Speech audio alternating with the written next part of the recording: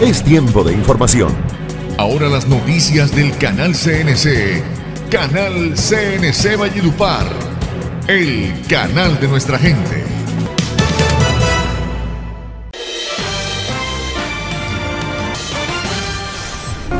Sabemos que Atita tenía una carrita acostado hasta pero cuando uno dobla la rodilla y le pide a Dios, Dios no escucha.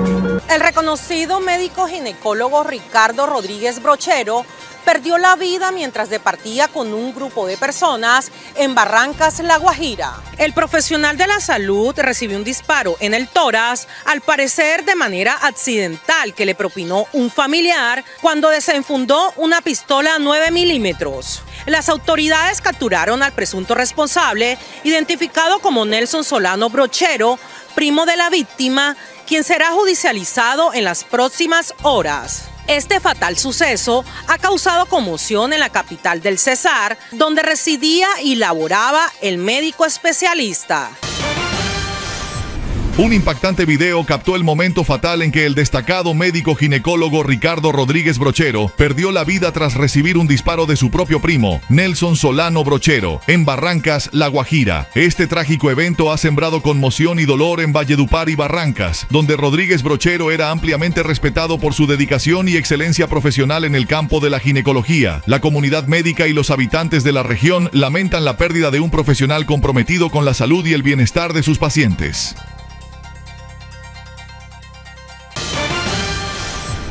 Como Alirio Acosta, de 38 años de edad, fue identificado el ciudadano hallado muerto en una finca de la vereda Pitalito, jurisdicción del municipio de Becerril. Se pudo conocer que Alirio Acosta residía en el barrio La Esperanza de este municipio. El hecho es materia de investigación por parte de las autoridades competentes para esclarecer los móviles de lo ocurrido.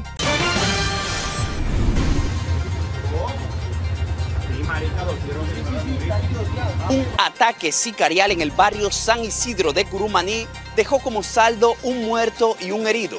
Jaime Barbosa Trigos, de 35 años, con antecedentes por tráfico de estupefacientes, fue asesinado a tiros mientras se movilizaba en una motocicleta. Además, un joven de 19 años resultó herido con tres impactos de bala y fue trasladado a un centro asistencial. Las autoridades investigan los hechos y buscan a los responsables del ataque. El exalcalde de Codazzi, Omar Benjumea, quedó en libertad luego de ser judicializado por el delito de porte ilegal de armas de fuego. El exmandatario fue capturado armado en su tierra natal en medio de un procedimiento de la policía. La fiscalía no solicitó medida de aseguramiento, sin embargo, sigue vinculado al proceso penal por dicho delito.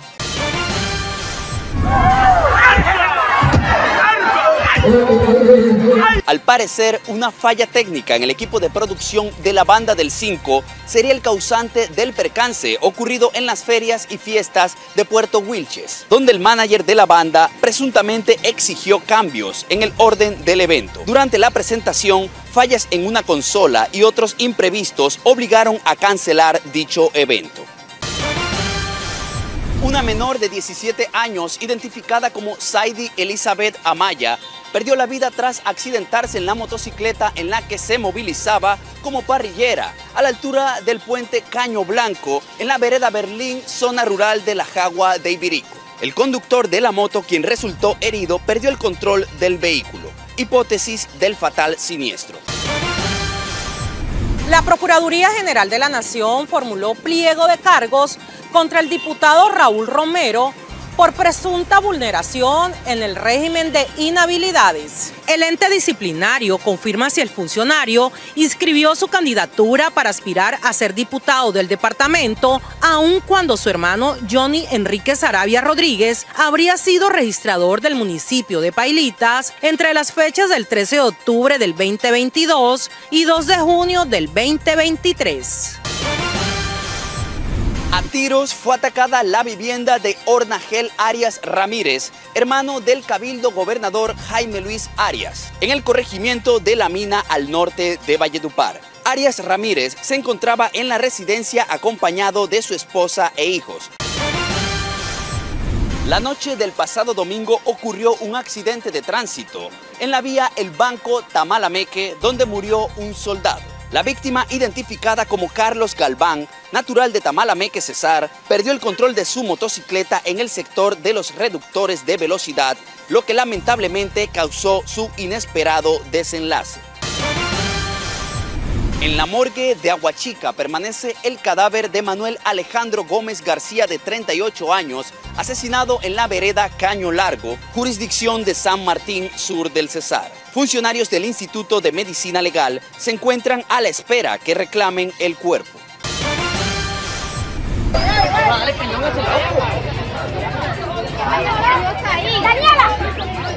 Dos jóvenes de 23 y 21 años de edad resultaron heridos durante una riña en la cancha polideportiva del barrio 11 de abril en Becerril. Ambos fueron atendidos en un centro asistencial por heridas superficiales que no ponen en riesgo sus vidas. Desde la capital mundial del vallenato, Valledupar, Canal CNC presenta CNC Noticias.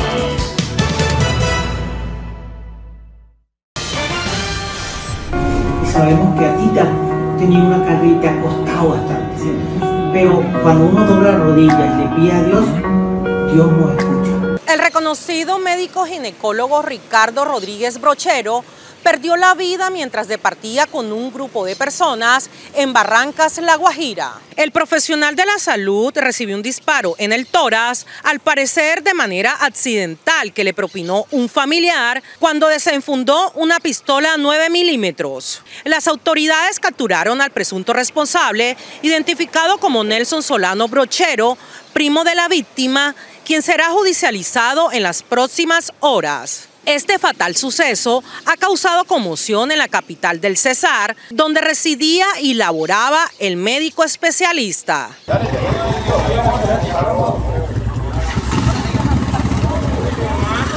La noche del pasado domingo, el destacado médico ginecólogo Ricardo Rodríguez Brochero perdió la vida de manera trágica en Barrancas, La Guajira, en el marco del Festival del Carbón.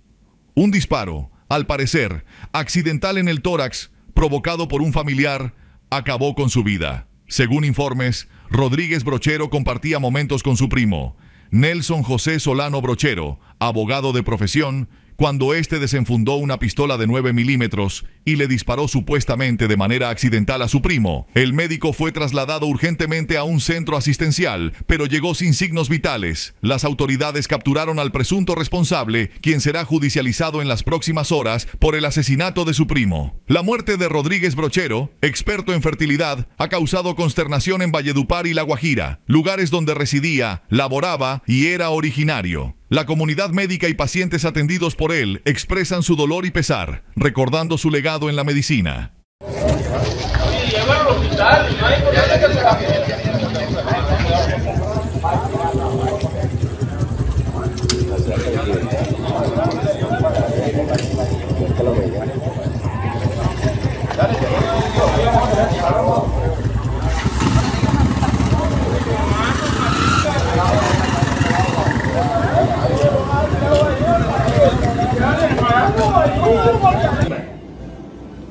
Conociendo todo lo que ha pasado, sabemos que algunas veces a alguna pareja les cuesta demasiado lograr tener un hijo. Y sabemos que a Tita tenía una carrita acostado bastante. Pero cuando uno dobla rodillas y le pide a Dios, Dios nos escucha. Cuando el hombre ora, habla con Dios.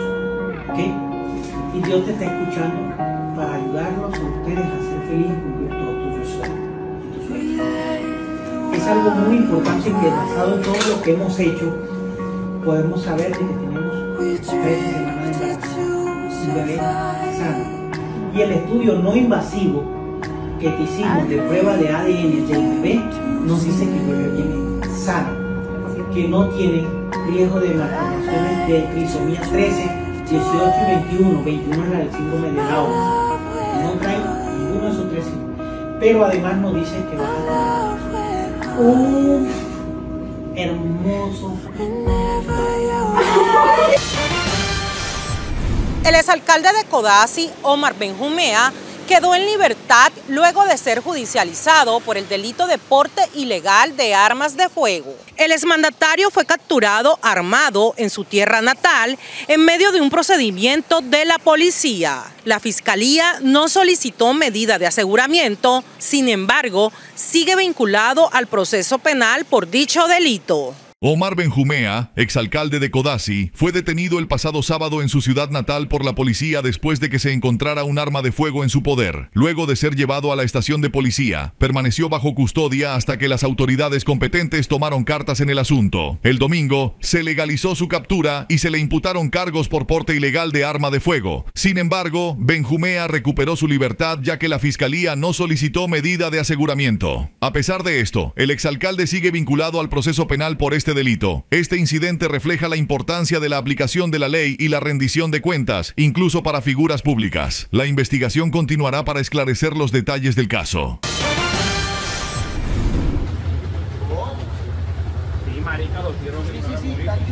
Un ataque sicarial en el barrio San Isidro de Curumaní dejó como saldo un muerto y un herido. Jaime Barbosa Trigos, de 35 años, con antecedentes por tráfico de estupefacientes, fue asesinado a tiros mientras se movilizaba en una motocicleta. Además, un joven de 19 años resultó herido con tres impactos de bala y fue trasladado a un centro asistencial. Las autoridades investigan los hechos y buscan a los responsables del ataque.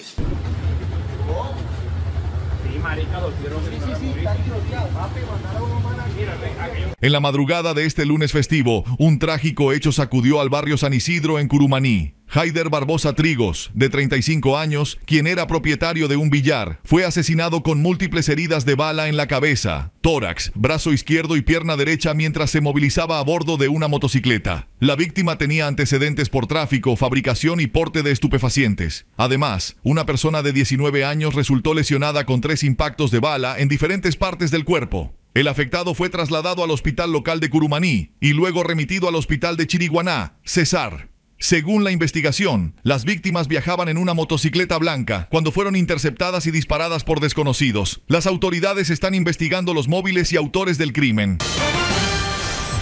Una menor de 17 años, identificada como Saidi Elizabeth Amaya, perdió la vida tras accidentarse en la motocicleta en la que se movilizaba como parrillera a la altura del puente Caño Blanco en la vereda Berlín, zona rural de la Jagua de Ibirico. El conductor de la moto, quien resultó herido, perdió el control del vehículo. Hipótesis del fatal siniestro. En un aparatoso accidente de tránsito registrado la tarde del domingo, perdió la vida Saidi Elizabeth Amaya, de 17 años de edad, a la altura del puente Caño Blanco, Vereda Berlín, zona rural del municipio de La Jagua de Ibirico, Cesar. De acuerdo a las primeras informaciones aportadas por las autoridades de tránsito, la adolescente se transportaba como pasajera en una motocicleta, la cual presuntamente perdió los frenos y el conductor se salió de la calzada, generando un volcamiento en el que la joven llevó la peor parte. Saidi recibió heridas en el rostro que le causaron la muerte cuando era trasladada a una clínica de Valledupar, luego de ser estabilizada en el hospital Jorge Isaac Rincón de la Jagua de Ibirico, a donde fue llevada inicialmente tras el accidente de tránsito. El conductor de la motocicleta también sufrió heridas y fue llevado a un centro de salud donde recibe atención médica. Este hecho ha causado consternación entre la comunidad por tratarse de una persona que apenas iniciaba su vida. Asimismo, reiteran que donde ocurrió el siniestro vial, la vía se ha convertido en una guillotina para los conductores que se dirigen hacia la la zona rural del municipio, por lo que piden a las autoridades municipales y departamentales tomar los correctivos, especialmente en el área donde está el puente. Como Alirio Acosta, de 38 años de edad, fue identificado el ciudadano hallado muerto en una finca de la vereda Pitalito, jurisdicción del municipio de Becerril. Se pudo conocer que Alirio Acosta residía en el barrio La Esperanza de este municipio. El hecho es materia de investigación por parte de las autoridades competentes para esclarecer los móviles de lo ocurrido. Un impactante video captó el momento fatal en que el destacado médico ginecólogo Ricardo Rodríguez Brochero perdió la vida tras recibir un disparo de su propio primo, Nelson Solano Brochero, en Barrancas, La Guajira. Este trágico evento ha sembrado conmoción y dolor en Valledupar y Barrancas, donde Rodríguez Brochero era ampliamente respetado por su dedicación y excelencia profesional en el campo de la ginecología. La comunidad médica y los habitantes de la región lamentan la pérdida de un profesional comprometido con la salud y el bienestar de sus pacientes. La noche del pasado domingo ocurrió un accidente de tránsito en la vía El Banco Tamalameque, donde murió un soldado. La víctima, identificada como Carlos Galván, natural de Tamalameque, Cesar, perdió el control de su motocicleta en el sector de los reductores de velocidad, lo que lamentablemente causó su inesperado desenlace. Un trágico accidente de tránsito ocurrió en la vía El Banco Tamalameque. A la altura del cerrito dejó como saldo la muerte de un soldado. La víctima, identificada como Carlos Galván, natural de Tamalameque, César, perdió el control de su motocicleta en el sector de los reductores de velocidad, lo que lamentablemente causó su fallecimiento. Las autoridades están investigando las circunstancias del accidente. La comunidad se une en condolencias con la familia y seres queridos de Carlos Galván. Estás viendo Canal. El canal de nuestra gente.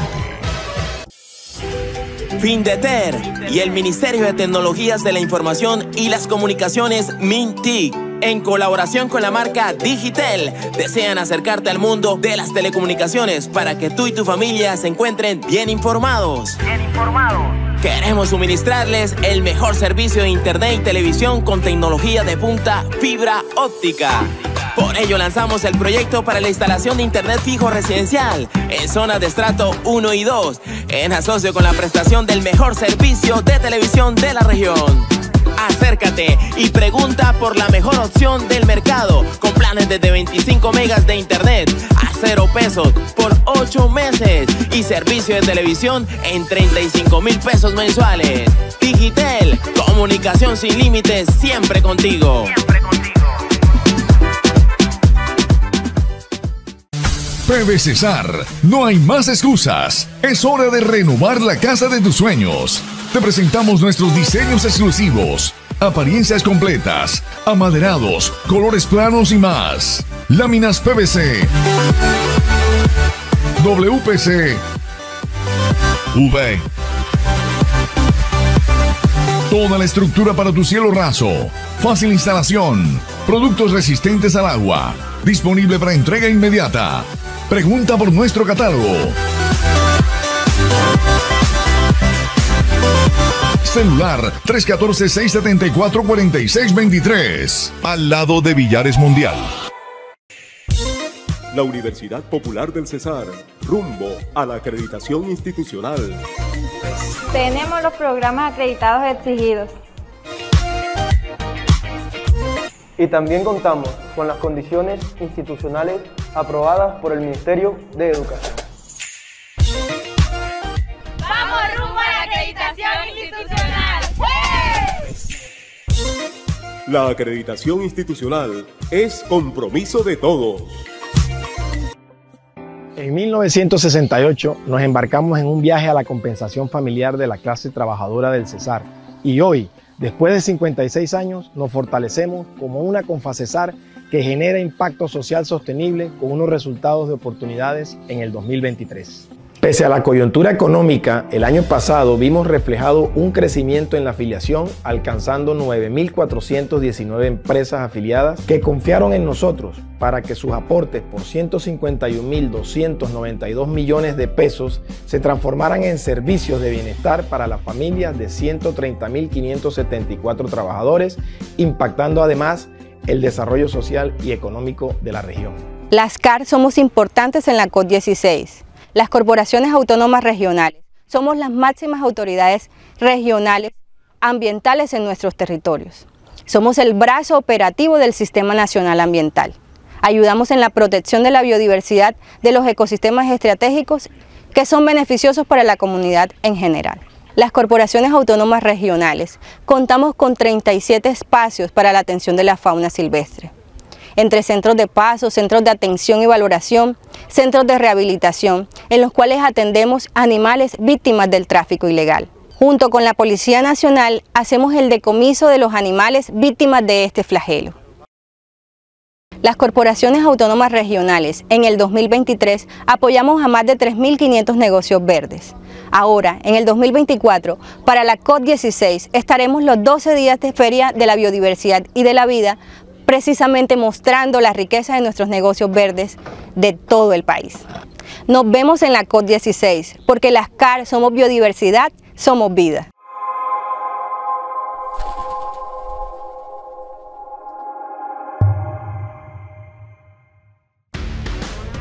¿Necesitas seguridad preventiva vehicular y cuentas con poco presupuesto? En Centro Multiservicios GPS Alarma CJ tiene para ti la forma más fácil y económica de lograrlo. Paga el monitoreo de seis meses y el GPS te lo prestamos en comodato, instalado y con garantía. Me acaban de robar el vehículo de placa APL31E. Señor Mesa, ¿se encuentra usted bien? Sí, sí. ¿Qué modalidad fue el robo? A mano armada. Nuestro personal de búsqueda y recuperación en compañía con el cuadrante van hacia la ubicación que arroja el GPS. Por favor, diríjase a un CAI de la policía más cercano. Esté seguro y espere nuestro llamado. No esperes a que te lo cuenten. Rueda Seguro 4G por todo el territorio nacional 24-7. Contáctanos a la diagonal 18 de número 2050 Valledupar o nuestra cuenta Instagram arroba GPS o nuestra página web www.gpsalarmaclj.com. Nuestra prioridad es tu seguridad y la de tu vehículo. En el grupo empresarial Carpio conformado por Carpio Firma de Abogados y Carpio Bienes Raíces, contamos con un equipo capacitado para brindar los más eficientes servicios de asesorías, consultoría, interventoría en el área legal, así como el área de la administración de inmuebles.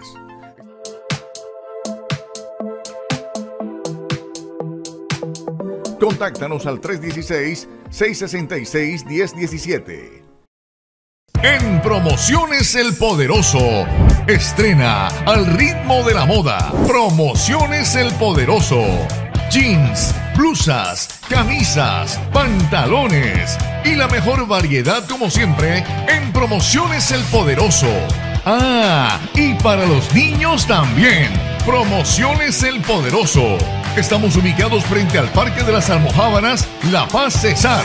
Promociones El Poderoso. El ICBC es una institución que marca la diferencia.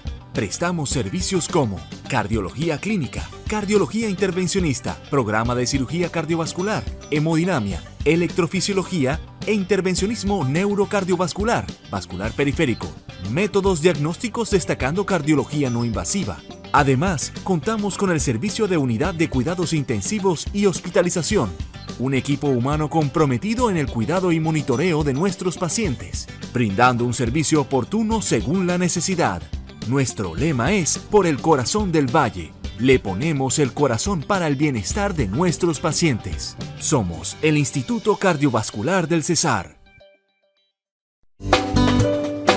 Ricardo Rojas Osorio, especialista en diseño y confección de moda masculina a la medida. Brindamos asesoría de imagen completa y además presta los servicios de entalle y arreglos de toda clase de prendas de vestir. Aparta tu cita al 318-401-0676 o visítalos en la carrera cuarta, número 13A bis 07. Ricardo Rojas Osorio, te llevamos a vivir la experiencia del buen vestir. Mes de octubre, Miami Plaza Comercial está encantado. Disfruta de nuestras actividades institucionales y nuestros sorteos promocionales. Este 31 de octubre tendremos nuestra Feria Encantada. Intensamente estará en nuestro parqueadero. Conoce a tu personaje favorito y comparte con él. Y no podemos olvidarnos del gran Garfield, nuestro querido personaje que nos hará reír y disfrutar con sus ocurrencias. Vamos a tener una tarde espectacular. Ya sabes, disfruta de nuestra agenda de eventos y de nuestras marcas. Con la magia de las calabazas y las arañas, guarda tus mejores recuerdos en nuestras estaciones. Estamos seguros que octubre te va a encantar. Verte en Miami Plaza Comercial es lo máximo. Estás viendo Canal. El canal de nuestra gente.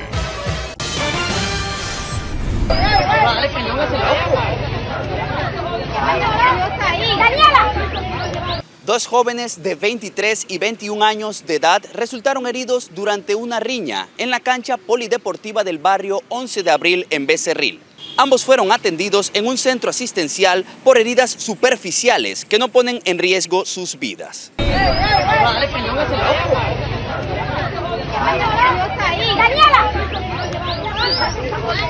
Dos personas resultaron heridas por arma blanca en una riña ocurrida en la cancha polideportiva del barrio 11 de abril del municipio de Becerril.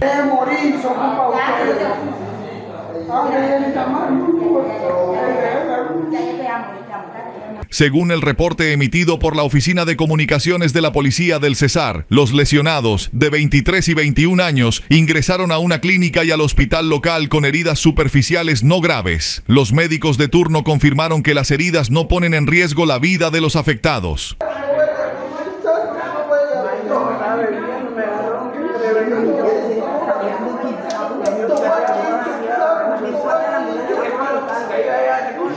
Los lesionados manifestaron que la riña se inició en la cancha polideportiva y que fueron atacados con arma blanca. La policía está investigando el incidente y busca identificar a los responsables.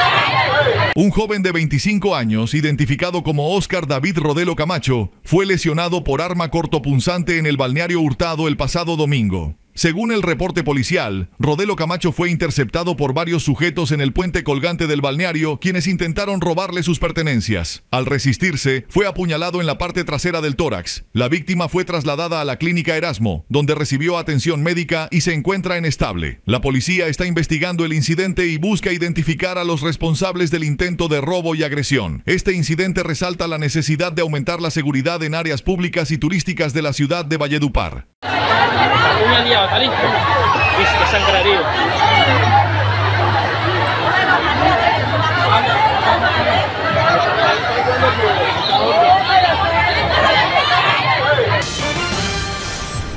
A tiros fue atacada la vivienda de Ornagel Arias Ramírez, hermano del cabildo gobernador Jaime Luis Arias, en el corregimiento de la mina al norte de Valledupar. Arias Ramírez se encontraba en la residencia acompañado de su esposa e hijos.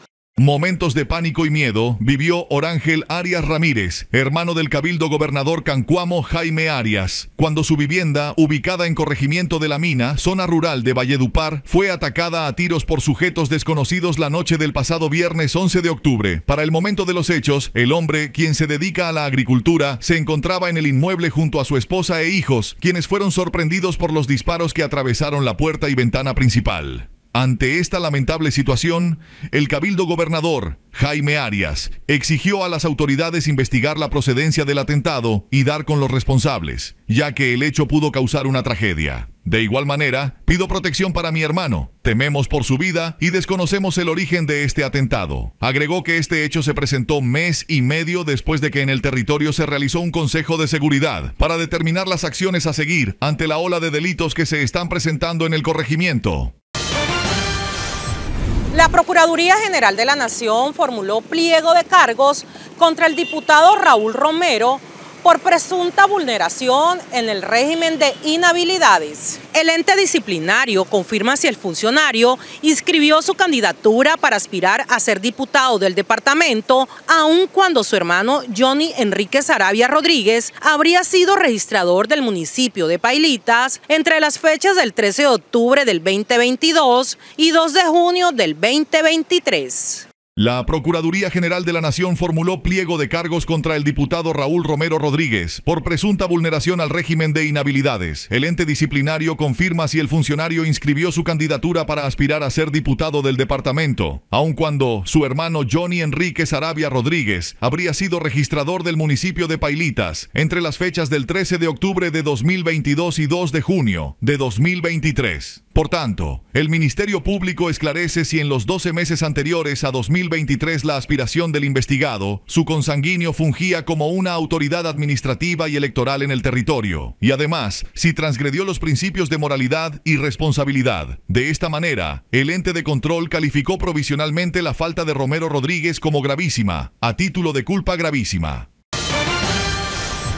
En la morgue de Aguachica permanece el cadáver de Manuel Alejandro Gómez García de 38 años, asesinado en la vereda Caño Largo, jurisdicción de San Martín Sur del Cesar. Funcionarios del Instituto de Medicina Legal se encuentran a la espera que reclamen el cuerpo.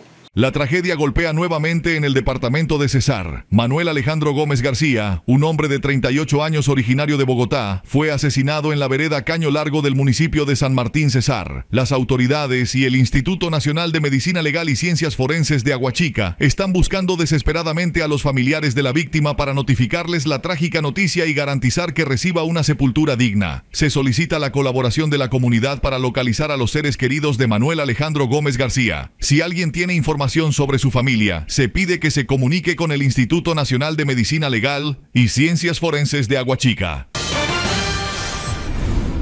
La Procuraduría General de la Nación abrió investigación al vicerrector administrativo de la Universidad Popular del Cesar, UPC, Orlando Gregorio Seoanes Lerma, por presuntas anomalías en los procesos de selección de personeros municipales o distritales, 2024 a 2028. La autoridad disciplinaria corrobora si el investigado inició los trámites para el concurso público de méritos para elegir los candidatos para representar al Ministerio Público en diferentes lugares del país, sin previa autorización de la Rectoría del Centro Educativo. A su vez, el ente de control confirma si se inició el procedimiento en los municipios de Nechí, Antioquia, Uciacurí, Antioquia, Otanche, Tinjacá, Santa Sofía, Chiquiza, Zetaquira, Ramiriquí, Chivata, Ciénaga, Chiscas, Floresta, Tutazá, Santa María y San Luis de Gaceno en Boyacá. También se verifica en los municipios de Norcasia, Caldas, González, San Andrés de Sotavento, Monitos y San Bernardo del Viento en Córdoba, Altamira y Guadalupe, Huila, Manaure y San Juan del Cesar, La Guajira, Plato, Salamina y Concordia, Magdalena, Tibú y Acarí, norte de Santander. Asimismo, en Carcasí, Cepitá, Florida Blanca, Los Santos y Barranca Bermeja. Y finalmente, en Corozal, Los Palmitos y Galeras, Sucre. Debido a esto, el ente disciplinario busca esclarecer las acciones de Seoanes Lerma, que son objeto de investigación.